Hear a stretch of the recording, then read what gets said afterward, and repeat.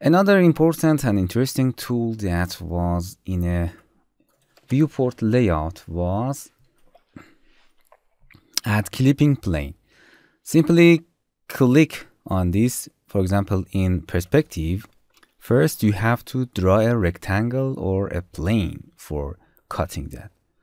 Simply click and click, first click and then uh, drag to uh, specify your shape and then second click it's not important. It's the square shape.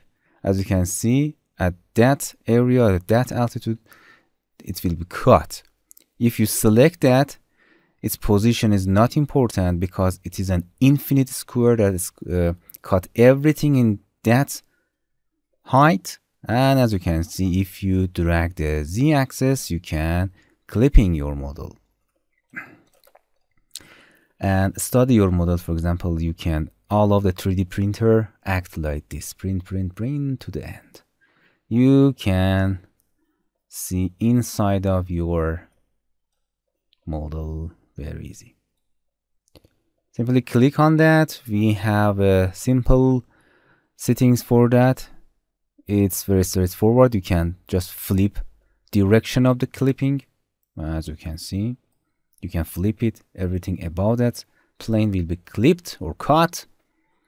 And here you can specify this uh, uh, tool apply in which viewport. As you can see uh, just acts in uh, perspective because we active perspective you can active any viewport that you want. And you can simple simply uh, see your clipping models in each viewport. As you can see its position in the these two axes is not important because it's clip everything in infinite. Uh, this is a infinite square. Okay as you can see you can clipping your model. It's very simple.